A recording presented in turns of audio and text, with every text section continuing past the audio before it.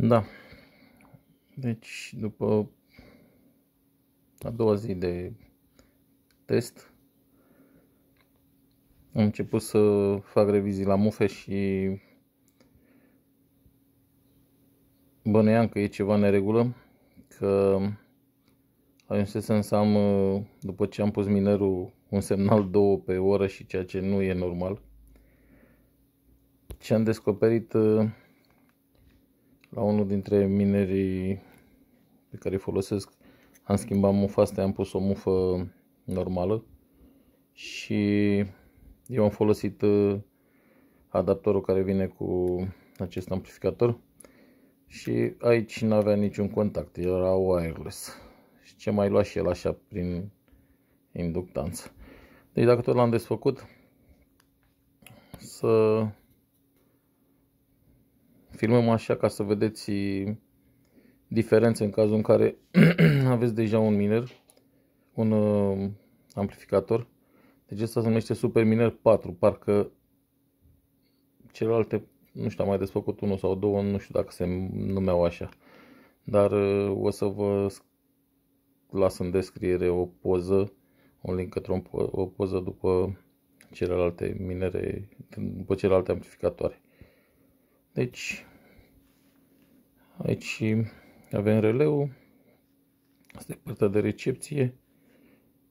Aici este deja făcut o atenuare. Filtrele acestea care sunt de 19-20 de MHz pe care o să le schimb în viitor dacă nu o să folosesc un cavity. De fapt, astăzi am reglat cavity și o să-l pun. Da. Și deci semnalul intră în acest uh, mixer releu și ajunge în uh, amplificator. Aici este amplificatorul LNA. Pe urmă trece prin acest divizor, intră în, uh, în acest filtru SOW eu aș fi pus un filtru înainte de... Chiar înainte aici la intrare, dar se pare că a ajuns chinezul la o concluzie mai bună. Surse. Aici tot așa o sursă destul de inteligentă. Și iarăși într-un într-un mixer și la miner. Pe urmă, pe emisie, avem așa aici, trebuia să fie un filtru sau nu l-am mai pus.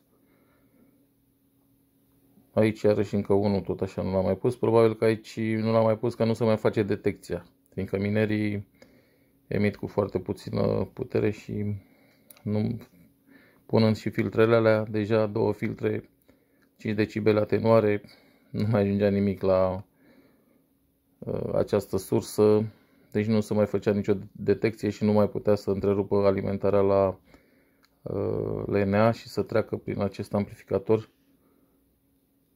de emisie. A pus decât un singur filtru care nu știu dacă își avea rostul, dar în fine, dacă așa a dedus chinezul, a făcut teste, bineînțeles. Și cam asta este amplificatorul. Apropo, aici unii dintre dumneavoastră ați văzut o bobină, aceasta lipsește fiindcă el se alimentează prin, prin alimentator direct la priză și nu folosesc un, un BST. Dacă puneți acea bobinuță, câteva spire pe o de un diametru de 2-3 mm 7-8 spire, în regulă și puteți să folosiți un biasti. Bineînțeles, îi faceți decuplarea înainte. Toate bune și spor la minare.